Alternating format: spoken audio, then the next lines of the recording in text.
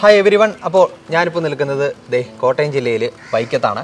അപ്പോൾ എനിക്കിപ്പോൾ ഉള്ള ഈ മിടുക്കനായിട്ടുള്ള വിദ്യാർത്ഥിയുടെ പേര് ജോർഡൻ ജോയി എന്നാണ്. ഇത്തവണത്തെ കേരള എഞ്ചിനീയറിംഗ് പരീക്ഷയിൽ ഹൺഡ്രഡ് പെർസെന്റേജ് സ്കോർ കരസ്ഥമാക്കി മികച്ച ഒരു റാങ്ക് കരസ്ഥമാക്കിയിട്ടുള്ള വിദ്യാർത്ഥിയാണ് നമ്മുടെ ബ്രില്യന്റിലെ ജോർഡൻ.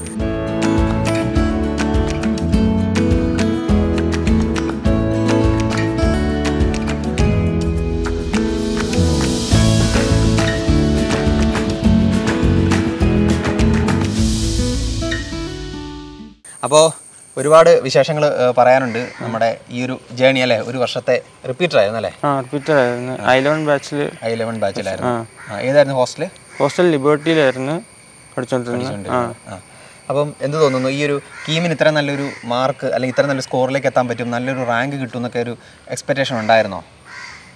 എക്സാം എഴുതി കഴിഞ്ഞ് എനിക്ക് അത്ര എക്സ്പെക്ടേഷൻ ഒന്നും ഇല്ലായിരുന്നു. പിന്നെ ഹൺഡ്രഡ് പെർസെന്റേജിൽ വന്ന് അറിഞ്ഞപ്പോൾ ഭയങ്കര ഒരു അപ്രതീക്ഷിതമായിരുന്നു ഞാൻ അത്രയും പ്രതീക്ഷിച്ചില്ല ഒന്നും. പിന്നെ റാങ്ക് വന്നു. ഭയങ്കര- ഭയങ്കര ഹാപ്പിയാണ് ഇപ്പോൾ റാങ്ക് വന്നതിന് ശേഷം പെട്ടെന്ന് എന്താണ് ചെയ്തത്? അടുത്ത മൊമെന്റിൽ പേരൻസിനോട് പറഞ്ഞോ? അതോ ക്ലാസ് ടീച്ചറിനെ വിളിച്ച് സംസാരിച്ചോ? പേരൻസിന് പേരൻസിനോട് പറഞ്ഞ് അവർക്കും ഭയങ്കര അൺഎക്സ്പെക്റ്റഡ് ആയിരുന്നു. പിന്നെ കൂട്ടുകാരന്മാരെ വിളിച്ച് അപ്പം എല്ലാവർക്കും വളരെ അൺഎക്സ്പെക്റ്റഡ് എന്നുള്ള രീതിയിൽ തന്നെയായിരുന്നു അല്ലേ? എവിടെ ഇരുന്നാ നോക്കിയത് റിസൾട്ട് നോക്കിയത്? വീട്ടിൽ വീട്ടിൽ നിന്ന് നോക്കിയതല്ലേ ഓക്കെ. അപ്പോൾ എങ്ങനെയുണ്ടായിരുന്നു ആ ഒരു ഒരു വർഷത്തെ ബ്രില്യൻ ലൈഫ് എന്ന് പറയുന്നത്? എനിക്ക് ഭയങ്കര ഞാൻ ഭയങ്കര ഹാപ്പിയാണ്. ഒരു വർഷം നമ്മൾ കുറേ ഹാർഡ് വർക്ക് ചെയ്ത് എനിക്ക് തന്നെ ഒരു പേഴ്സണൽ ഡെവലപ്മെന്റ് വരുത്താൻ പറ്റി. കുറേ കാര്യങ്ങൾ പഠിക്കാൻ പറ്റി. എങ്ങനെ കോമ്പറ്റേറ്റീവ് എക്സാംസിന് വേണ്ടി പ്രിപ്പയർ ചെയ്യണമെന്ന് പഠിക്കാൻ പറ്റി. നല്ല അറ്റ്മോസ്ഫിയർ ആയിരുന്നു ആ ഒരു വർഷം. ഹോസ്റ്റലാണെങ്കിൽ തന്നെ നല്ലൊരു നല്ലൊരു അറ്റ്മോസ്ഫിയർ ആയിരുന്നു. ആ ആ. ലിബർട്ടി ഹോസ്റ്റലിൽ എല്ലാ എല്ലാവരുമായിട്ട് ഭയങ്കര കമ്പനി ആയിരുന്നു. പിന്നെ ക്യാമ്പസ് ആണെങ്കിലും ഞങ്ങൾ ഞാൻ ആ, എല്ലാ ദിവസവും പോയി വരുമായിരുന്നു അപ്പം ആ എല്ലാം ട്രാൻസ്പോർട്ടേഷൻ ഉണ്ടായിരുന്നു. ട്രാൻസ്പോർട്ടേഷൻ ഉണ്ടായിരുന്നു. രാവിലെ ബസ് ബ്രില്ലിന്റെ തന്നെ ബസ് ഉണ്ട്. അവിടെ കൊണ്ടാക്കും തിരിച്ചു കൊണ്ടുവരും ഉം ഉം. ഈ ഒരു എഞ്ചിനീയറിംഗ് മേഖലയിലേക്ക് കടന്നു വരാനായിട്ട് ജോർഡൻ എന്തെങ്കിലും പ്രത്യേകിച്ച് കാരണങ്ങളോ ഇൻസ്പിറേഷനോ അങ്ങനെ എന്തെങ്കിലും ഉണ്ടോ? ഇൻസ്പിറേഷൻ എന്ന് പറഞ്ഞാൽ എനിക്ക് ഏഴാം ക്ലാസ്സിൽ ഒരു ക്ലാസ് വെച്ച് ചുമ്മാ ഒരു സാറ് ഞങ്ങളുടെ പ്രിൻസിപ്പൽ സാറായിരുന്നു അപ്പോൾ സാറ് വന്നൊരു പരീക്ഷ നടത്തി. മാത്സിന്റെ ആയിരുന്നു. അപ്പം ചുമ്മാ ഒരു റാൻഡം എക്സാം ആയിരുന്നു. അപ്പോൾ എനിക്ക് നല്ല സ്കോർ കിട്ടി. അപ്പോൾ സാറും ഭയങ്കര ഹാപ്പി അപ്പോൾ സാറ് പറഞ്ഞു എനിക്ക് ഐ ഐ ടി പോവാം. അങ്ങനെ എന്നോട് പറഞ്ഞു. അപ്പോൾ എനിക്ക് അപ്പ് തന്നെ എന്തോ ഐ ഐ ടി എന്ന് പറഞ്ഞ ടോപ്പ് ആൾക്കാർ ചെല്ലണ സ്ഥലമാണ്. അപ്പം അങ്ങനെയാണ് ഈ എഞ്ചിനീയറിംഗുമായിട്ട് ബന്ധപ്പെട്ട് ഇങ്ങനെ അതുമായിട്ട് റിസർച്ച് ചെയ്ത് അപ്പം കൂടുതൽ അതിനെക്കുറിച്ച് അറിയാനൊക്കെ അറിയാൻ ആ ഇൻസിഡന്റ് തൊട്ടാണ് നമുക്ക് എഞ്ചിനീയറിങ്ങിനോട് പിന്നെ ഒരു താല്പര്യം വന്നു തുടങ്ങിയത്. പിന്നെ ഗൂഗിൾ മൈക്രോസോഫ്റ്റ് ആപ്പിൾ അങ്ങനത്തെ ഇപ്പം ആൾക്കാർ അന്വേഷിച്ച് അപ്പോൾ അങ്ങനെയുള്ള ആളുകളിൽ നിന്ന് ഒരു ഇൻസ്പിറേഷൻ ഉണ്ടായിരുന്നു. അപ്പോൾ എങ്ങനെ മാത്സിനോട് ഒരു പ്രത്യേകിച്ച് ഒരു മാത്സിനോട് ഉണ്ടായിരുന്നു. പിന്നെ പ്ലസ് വൺ പ്ലസ് ടു എനിക്ക് സയൻസ് അത്ര താല്പര്യമില്ലായിരുന്നു എന്നാലും പ്ലസ് വൺ പ്ലസ് ടു എത്തിയപ്പോൾ എനിക്ക് സയൻസിനോട് ഭയങ്കര ഇഷ്ടം തോന്നി. മാത്സ് എനിക്ക് പണ്ടോട്ട് ഇഷ്ടമായിരുന്നു അപ്പം എല്ലാം കൂടി ഒരു ഓവറോൾ എനിക്ക് ഭയങ്കര ഒരു താല്പര്യമുള്ള സബ്ജക്ട്സ് സോ തിരഞ്ഞെടുത്തു ഇപ്പോൾ പ്ലസ് ടു വരെ പഠിച്ചതിൽ നിന്ന് വ്യത്യസ്തമായിട്ട് കുറച്ചും കൂടി ഒബ്ജക്റ്റീവ് ടൈപ്പ് ക്വസ്റ്റ്യൻസിനെയൊക്കെ കൂടുതൽ പ്രാക്ടീസ് ചെയ്ത് എൻട്രൻസിനുള്ള ഒരു പ്രിപ്പറേഷൻ എന്ന് പറയുന്ന ഒരു വേറൊരു രീതിയിലാണല്ലോ. ഇപ്പോൾ എൻട്രൻസിലേക്ക് വന്നപ്പോൾ അതിനെ ഒരു അതിന്റെ ഒരു തയ്യാറെടുപ്പ് എങ്ങനെയായിരുന്നു? എൻട്രൻസിന് വരുമ്പോൾ നമ്മൾ കുറച്ചുകൂടി ഇൻഡെപ്ത് ആയിട്ട് സബ്ജക്റ്റിന്റെ ഇൻഡെപ്തിലേക്ക് നമ്മൾ പോയിട്ട് അതെ. അപ്പോൾ എൻട്രൻസ് അങ്ങനത്തെ ചോദ്യങ്ങളാണ് സാധാരണ ചോദിക്കാറ്. പക്ഷേ ഇപ്പം board exam plus two plus plus one plus two എക്സാംസിനൊക്കെ ആണെങ്കിൽ കണ്ട് കണ്ട് എപ്പോഴും ചോദിക്കാറുള്ള ക്വസ്റ്റ്യൻസ് നമ്മൾ ജസ്റ്റ് എക്സാമിന് മുമ്പ് തന്നെ പഠിച്ചുമ്പോൾ പഠിച്ചിട്ട് പോയി എക്സാം എഴുതാവുന്ന കാര്യമുള്ളൂ. പക്ഷെ എൻട്രൻസിനാണ് നമ്മൾ ശരിക്കും ഒരു വർഷം തന്നെ നല്ല ഹാർഡ് വർക്ക് ചെയ്ത് നമ്മൾ ഓരോ സബ്ജക്റ്റിന്റെയും ഇൻ ഡെപ്തിലേക്ക് ചെന്ന് ജസ്റ്റ് ഒന്ന് റീഡ് ചെയ്ത് പോയിട്ട് കാര്യമില്ല. നല്ല ഡെപ്ത് അറിയിരിക്കണം അറിവുണ്ടായിരിക്കണം. എനിക്ക് ഒന്ന താല്പര്യം ഈ മാത്സ് ഫിസിക്സ് കെമിസ്ട്രി താല്പര്യമുള്ള താല്പര്യമുള്ള സബ്ജക്ട്സ് ആയതുകൊണ്ട് കൊണ്ട് എനിക്ക് ആ ഇഷ്ടപ്പെട്ട്. നന്നായിട്ട് ഡെപ്തിലേക്ക് എനിക്ക് അത്ര ബോറിംഗ് ആയിട്ടൊന്നും തോന്നിയില്ല. അപ്പോൾ എങ്ങനെയായിരുന്നു ഹോസ്റ്റലിൽ ഇരുന്ന് പഠിക്കാനായിരുന്നു കൂടുതൽ ഇഷ്ടം? അതോ ബ്രില്യന്റ് വന്നതിന് ശേഷം? അപ്പോൾ റെഫറൻസ് സിസ്റ്റം ഉപയോഗിച്ച് ബ്രില്യന്റ് തന്നെ ഇരുന്ന് പഠിക്കാനായിരുന്നോ? അതോ ഹോസ്റ്റൽ റൂമിൽ ഇരുന്ന് പഠിക്കാനായിരുന്നോ? അതോ ഡിസ്കസ് ചെയ്ത് നിങ്ങൾ കമ്പനി സ്റ്റഡി പോലെ പഠിക്കാനായിരുന്നു? എങ്ങനെയായിരുന്നു കൂടുതൽ താല്പര്യം? ഞാനാണെങ്കിൽ ഒറ്റയ്ക്ക് ഇരുന്ന് എനിക്ക് പഠിക്കുന്ന ഒരു പഠിക്കുന്ന ഒരു ആളാണ്. അപ്പോൾ ഒറ്റയ്ക്ക് ഇരുന്ന് പഠിക്കുന്ന ആളായതുകൊണ്ട് റൂമിൽ തന്നെ ഇരുന്ന ഫുൾ ടൈം പഠിച്ചുകൊണ്ടിരുന്ന ജസ്റ്റ് ചില ആശയങ്ങൾ പുറത്ത്. എനിക്കതായിരുന്നു കംഫർട്ടബിൾ നമുക്ക് നമ്മുടെ ഇതായിട്ടുള്ള ഇപ്പോൾ അപ്പോഴാണ് എനിക്ക് കുറച്ചുകൂടി കൂടുതൽ കോൺസെൻട്രേഷൻ കൂടി കിട്ടിക്കൊണ്ടിരുന്നത്. പ്രത്യേകിച്ച് ലിബർട്ടി ഹോസ്റ്റൽ എന്ന് പറയുന്നത് അങ്ങനെ ഒരു നമുക്ക് നല്ലൊരു അറ്റ്മോസ്ഫിയർ നമുക്ക് പഠിക്കാൻ വേണ്ടി നല്ലൊരു അറ്റ്മോസ്ഫിയർ അവർ തരുന്നത്. അപ്പോൾ ഈ വീട്ടിൽ നിന്ന് മാറി നിൽക്കുമ്പോൾ ഇപ്പോൾ ഒരുപാട് ദൂരമൊന്നും ഇല്ലെങ്കിൽ പോലും വീട്ടിൽ നിന്ന് മാറി നിൽക്കുവാണല്ലോ ഒരു വർഷത്തേക്ക്. അപ്പോൾ ആ ഒരു വർഷത്തേക്ക് വീട്ടിൽ നിന്ന് മാറി നിൽക്കുമ്പോൾ നമ്മൾ കുറേ കാര്യങ്ങൾ സാക്രിഫൈസ് ചെയ്യേണ്ടി വരും. വീട്ടിലെ ഫുഡ് അതുപോലെ ആളുകൾ വീട്ടിലെ ആളുകൾ ഇപ്പോൾ അനിയന്മാരുണ്ട് അവരെയൊക്കെ മിസ് ചെയ്യുന്ന ഒരു സാഹചര്യമൊക്കെ ഉണ്ടാവില്ല അപ്പോൾ അതിനെയൊക്കെ എങ്ങനെയാണ് അതിനെയൊക്കെ അതിജീവിച്ച് വന്നത്? നമ്മൾ ഞാൻ ആദ്യമേ ഹോസ്റ്റലിലേക്ക് വന്നപ്പോൾ നമുക്ക് ഭയങ്കര ഒരു ഒരു വിഷമമായിരുന്നു. കാരണം നമ്മൾ മാറി. ഇപ്പം നമ്മൾ നമ്മുടെ കാര്യങ്ങളെല്ലാം ഡ്രസ്സ് കഴുകിയിടണം അങ്ങനെ എല്ലാ കാര്യങ്ങളും എല്ലാ കാര്യവും നമ്മൾ തന്നെ ചെയ്യണം. അപ്പം നമുക്ക് ഭയങ്കര സങ്കടമായിരുന്നു ആരും കൂടെ ഇല്ല പിന്നെ കുറെ കഴിഞ്ഞ് അതുകൊണ്ട് അഡ്ജസ്റ്റ് ചെയ്ത് വന്നു. ആ ശീലിച്ചു വന്ന്. അപ്പോൾ ഇനിയിപ്പോൾ ഐ ഐ ടിയിൽ അഡ്മിഷൻ കിട്ടി അങ്ങോട്ട് പോകുന്ന സമയത്താണെങ്കിൽ പോലും ഇതെല്ലാം അതിനൊരു മുന്നോടിയായിട്ടുള്ള ഒരു ഒരു ഹെൽപ്പ് ചെയ്യും. അതെ അതെ ഹെൽപ്പ് ചെയ്യും. അപ്പോൾ നിങ്ങൾ പഠിക്കുന്ന ഒരു സമയത്ത് സ്റ്റഡി മെറ്റീരിയൽസ് ഇഷ്ടം പോലെ സ്റ്റഡി മെറ്റീരിയൽസ് നിങ്ങൾക്ക് കിട്ടുന്നുണ്ടല്ലോ. അപ്പോൾ എങ്ങനെയായിരുന്നു? അതിന്റെയൊക്കെ ഒരു ഉപയോഗം. ബെർലിന്റെ എന്ന സ്റ്റഡി മെറ്റീരിയൽസ് ആണ് ഞാൻ മെയിൻലി എല്ലാം ഉപയോഗിച്ചിരുന്നത്. ഒന്നോ രണ്ടോ കാര്യത്തിന് ഇപ്പം എക്സ്ട്രാ ആയിട്ട് നമുക്ക് നോക്കണമെങ്കിൽ ലൈബ്രറി ആ ലൈബ്രറിയിൽ പോയി നോക്കും. ബെർലിന്റെ എന്ന സ്റ്റഡി മെറ്റീരിയൽ മാത്രം ചെയ്താൽ മതി. ഇപ്പം അവർ തന്നെ ഫിസിക്സ് കെമിസ്ട്രി മാത്സിനുള്ള മെറ്റീരിയൽ തന്നെ നല്ല ലെവലിലുള്ളതാണ് അതിന്റെ അതിന്റെ കൂടെ ഇ ലേണിംഗ് ആപ്പ് ഉണ്ട് നമുക്കിപ്പം ഞാനാണെങ്കിൽ കുറേ ക്ലാസ് ഇ ലേണിംഗ് ആപ്പിൽ കൂടിയാണ് കണ്ടത്. എനിക്ക് എനിക്ക് അതായിരുന്നു കുറച്ചുകൂടി ക്ലാസ്സിൽ പോയി പഠിക്കുന്നതിനേക്കാളും പഠിക്കുന്നതിനേക്കാളും ഓൺലൈനായിട്ട് ക്ലാസ് കണ്ട് പഠിക്കുന്നതായിരുന്നു കുറച്ചുകൂടി നല്ലത്. നമുക്ക് ഒന്നുകൂടി റിവൈൻഡ് ചെയ്യാം അങ്ങനെയൊക്കെ. മെറ്റീരിയൽസിന്റെ ആണെങ്കിൽ നല്ല ലെവലുണ്ട്. എല്ലാ ടോപ്പിക്സിൽ നിന്നുള്ള ചോദ്യങ്ങൾ ഇൻക്ലൂഡഡ് ആണ്. നല്ലതായിരുന്നു നല്ല അപ്പോൾ ഈ മോഡൽ എക്സാംസ് ഒക്കെ എഴുതുന്ന സമയത്ത് അല്ലെങ്കിൽ പഠിക്കുന്ന ഒരു സമയത്തൊക്കെ നമ്മൾ കുറച്ച് ഡൗൺ ആയി പോകുന്ന ഒരു ഘട്ടമൊക്കെ ഉണ്ടാവാറുണ്ടല്ലോ? എല്ലാവർക്കും അങ്ങനെ സംഭവിക്കാറൊക്കെ ഉണ്ട്. കുറച്ച് മാർക്ക് കുറഞ്ഞു വരുമ്പോൾ നമുക്ക് കുറച്ച് വിഷമോ കാര്യങ്ങളൊക്കെ ഉണ്ടാവുമല്ലോ. അപ്പം എങ്ങനെയായിരുന്നു ഒരു മെന്ററിങ് സംവിധാനം ബ്രില്യന്റിനെ എത്രത്തോളം സഹായിച്ചിട്ടുണ്ട്? എന്റെ ക്ലാസ് ടീച്ചർ ബിനിൽ സാറും ദീപക് സാറും ആയിരുന്നു.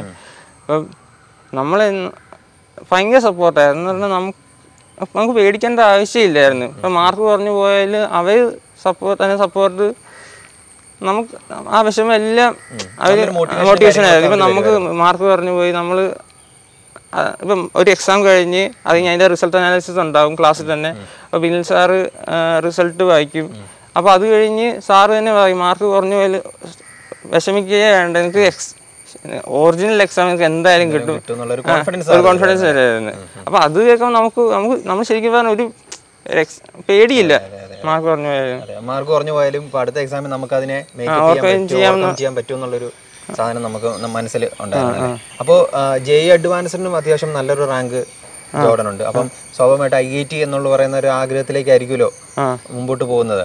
അപ്പോൾ ഏത് ഐ ഐ ടി ചൂസ് ചെയ്യണം? അല്ലെങ്കിൽ ഇന്ന ഏതെങ്കിലും ഒരു ബ്രാഞ്ച് പർട്ടിക്കുലർ ബ്രാഞ്ച് സെലക്ട് ചെയ്യണം? അങ്ങനെ എന്തെങ്കിലും ആഗ്രഹങ്ങൾ മനസ്സിലുണ്ടോ? എനിക്ക് പ്ലസ് ടു ഫിസിക്സ് ടോപ്പിക്സ് ആണ് എനിക്ക് കുറച്ചുകൂടി താല്പര്യം അപ്പോൾ അതുമായി ബന്ധപ്പെട്ട് ഈസി ആണ് എനിക്ക് താല്പര്യം. കമ്പ്യൂട്ടർ സയൻസിനോട് സാധാരണ എല്ലാവർക്കും കമ്പ്യൂട്ടർ സയൻസ് വേണം. അങ്ങനെയാണ്. പക്ഷെ എനിക്ക് ഈസി ഈസി എവിടെയെങ്കിലും നല്ല കിട്ടുവാണെങ്കിൽ അത് അത് സാറ്റിസ്ഫൈഡ് ആണ് ഞാൻ. ഓക്കെ. പേരൻസിന്റെ ഒക്കെ ഒരു സപ്പോർട്ട് അതിനെക്കുറിച്ച് ഒന്ന് പറയാം നമുക്ക് അത് കഴിഞ്ഞിട്ട് പേരൻസിനെ കൂടി കാണാം. ആ. പേരൻസ് എനിക്ക് ഭയങ്കര സപ്പോർട്ട് എന്ന് പറഞ്ഞാൽ മാർക്ക് കുറഞ്ഞു പോയാലും അവർക്ക് നമ്മൾ എവിടെയെങ്കിലും നല്ലൊരു കോളേജിൽ ചേർന്നാൽ മതി. ഒരു ഇടയ്ക്ക് മാർക്ക് അവർക്ക് അവർക്കൊരു പ്രശ്നവും ഇല്ല പ്രശ്നവുമില്ല. ഇപ്പം മാർക്ക് കുറഞ്ഞു പോയാലും അവർക്കൊരു കുഴപ്പമില്ല എനിക്ക് ഭയങ്കര ടെൻഷൻ ആണെങ്കിൽ ഇപ്പം ഞാൻ വിളിച്ച് അവരെ വിളിച്ച് പറയും മാർക്ക് പറഞ്ഞു പോയി ഇത് ഈ പരീക്ഷയ്ക്ക് ഇത്ര മാർക്ക് പറഞ്ഞു പോയി മാർക്ക് അങ്ങനെ പറയുമ്പോൾ അവർക്ക് വിഷമമൊന്നുമില്ല. അവർ ഇത് കുഴപ്പമില്ലടാ ഇത് ഇത്രയും ഉണ്ടല്ലോ ഇത്രയും മാർക്ക് കിട്ടിയിട്ടുണ്ടല്ലോ. ഇപ്പം സാധാരണ ഇപ്പം ഒരു പ്ലസ് ടുവിന് തയ്യാറെടുക്കുന്ന ഒരു സ്റ്റുഡന്റിനേക്കാളും നല്ലൊരു എൻട്രൻസ് കോച്ചിങ് വേണ്ടി വരുമ്പം അതെ അതെ അതെ. അതിന്റെതായ ബുദ്ധിമുട്ടുകളും കാര്യങ്ങളും ഉണ്ടാകും മാർക്കുകൾ കുറയുന്ന ഒരു സാഹചര്യം ഉണ്ട്. അതെല്ലാം കൃത്യമായി പേരൻസ് മനസ്സിലാക്കിയായിരുന്നല്ലേ അപ്പൊ ആ ഒരു കോൺഫിഡൻസും ജോർഡന് കിട്ടിയിരുന്നു. അപ്പൊ അതിൽ നിന്നുമാണ് ഇത്ര നല്ലൊരു സ്കോറിലേക്ക് എത്തിയത്. അപ്പോൾ ഇനി നമുക്ക് പേരൻസിനെ മീറ്റ് ചെയ്യാം അല്ലേ? ഓക്കെ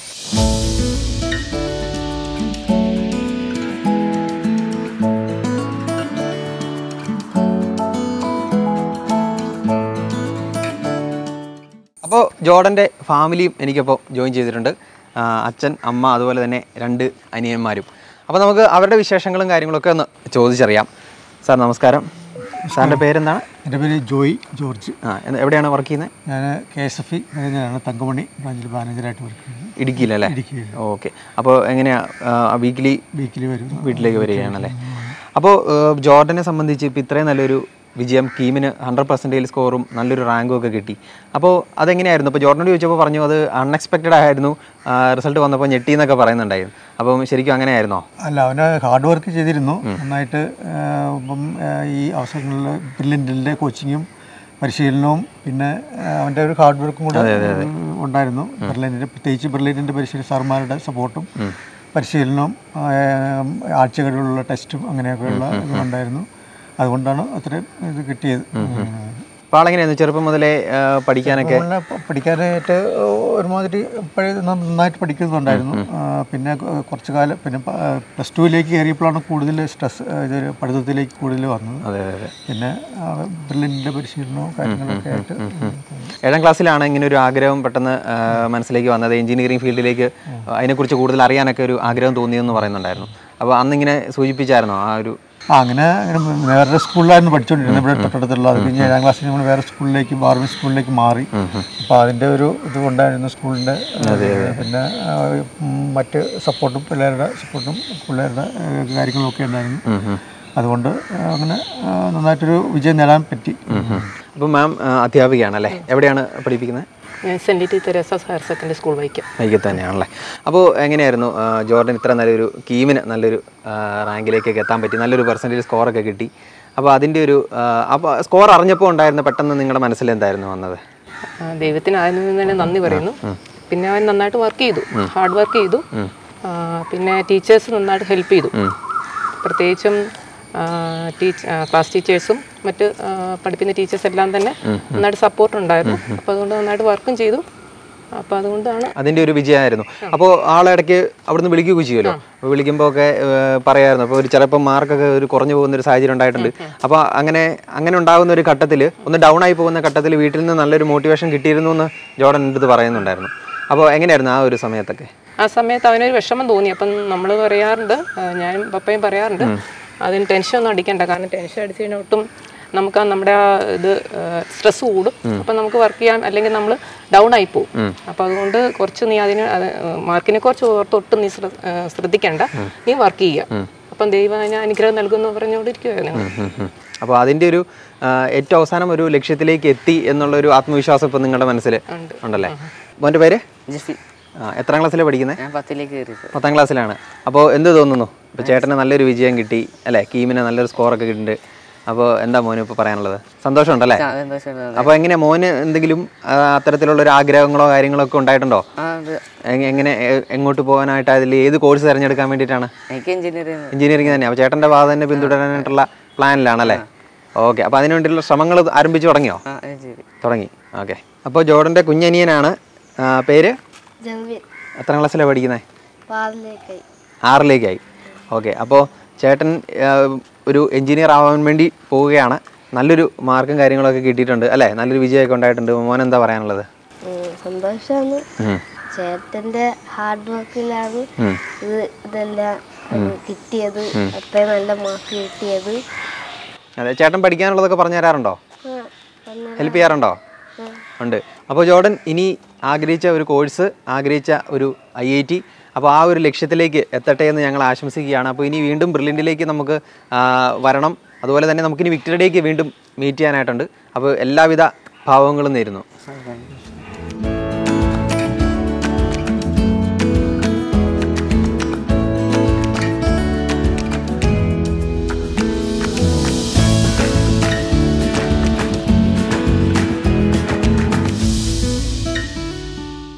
എൻട്രൻസ് സംബന്ധമായ വാർത്തകളും അപ്ഡേഷനുകളും ഏറ്റവും വേഗം ആധികാരികമായി അറിയാൻ brilliant study centre Pala YouTube channel subscribe ചെയ്യുക ബെല്ലൈക്കൺ അമർത്തുക. ഈ വീഡിയോ മറ്റ് സുഹൃത്തുക്കളിലേക്കും ഷെയർ ചെയ്ത് നൽകുക.